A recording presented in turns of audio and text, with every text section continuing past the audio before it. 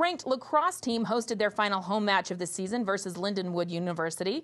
Let's take a look at the highlights. On the team on offense, and he's having his best season as you see BYU get a goal right there. Thanks, Jeremy. And yeah, that was Jake Farron with the assist from Elliot Groh.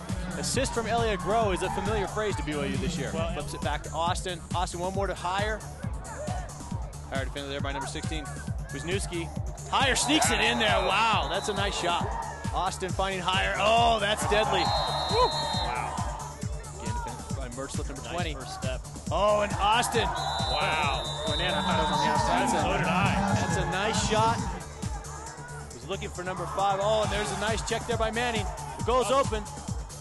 Great Here, look. comes, here great comes look. Higher. Oh, and he Great fi- Oh my goodness, Boy, Higher to Manning. Wow. Pretty. But that again, that was the ride that created that goal. Here's Corsalt with a nice shot. That's a good, nice, Nice left-handed shot. Kikumoto with a nice save. Just Columbia. Yeah, absolutely. Those There's Stewart. So well in tight. There's some nice movement there. Giametti.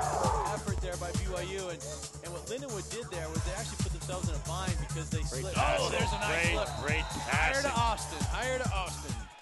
Senior night, you guys come out and really lay the lumber. And at the beginning, you guys scored a bunch of goals in a hurry there. Was that really uh, something you guys talked about early on? That definitely was. Coach Lim talked about that a lot. Um, sometimes we come out a little sloppy, a little slow, kind of hesitant, and he, he talked about that before the game, how we need to come out and stick it to him right off the bat.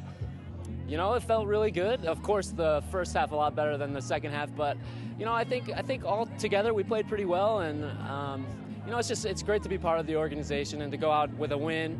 Anytime you win, it's a good game, so it, it feels good to go out like that. So. Well, I think early on the guys were on the same page. They all wanted something the same. They wanted to play well. They wanted to play good lacrosse. They wanted to play together.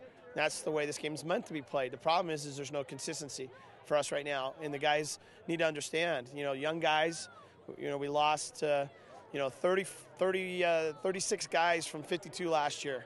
So we won a national championship with 52 guys last year, and we lose 36 of them, um, or 35 of them, whatever the math is. We've got a lot of new faces here that are trying to figure out how to be consistent, and that's not happening right now.